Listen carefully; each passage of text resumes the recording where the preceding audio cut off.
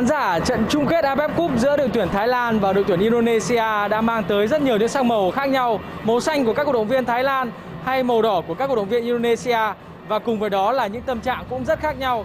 Cổ động viên Thái Lan rất chờ đợi đội tuyển Thái Lan có thể lên ngôi vô địch sau 5 năm chưa thể nâng cao chiếc cúp tại Đông Nam Á.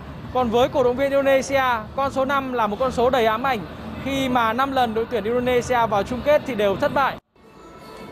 Cổ động viên Indonesia sẽ tiếp tục phải chờ đợi cho chức vô địch. Còn cổ động viên Thái Lan chẳng phải chờ lâu. Trận đấu mới bắt đầu, bàn thắng đã tới và bầu không khí tại sân vận động quốc gia Singapore mang tới niềm vui cho màu xanh cho cổ động viên Thái Lan.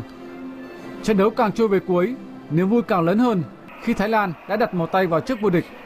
Lúc này chắc chỉ ít cổ động viên thận trọng như cổ động viên này. Đội tuyển Thái Lan đã có một giải đấu thành công, các cầu thủ chơi tốt, nhiều người được trao cơ hội. Tất nhiên tôi vui nếu đội giành chức vô địch.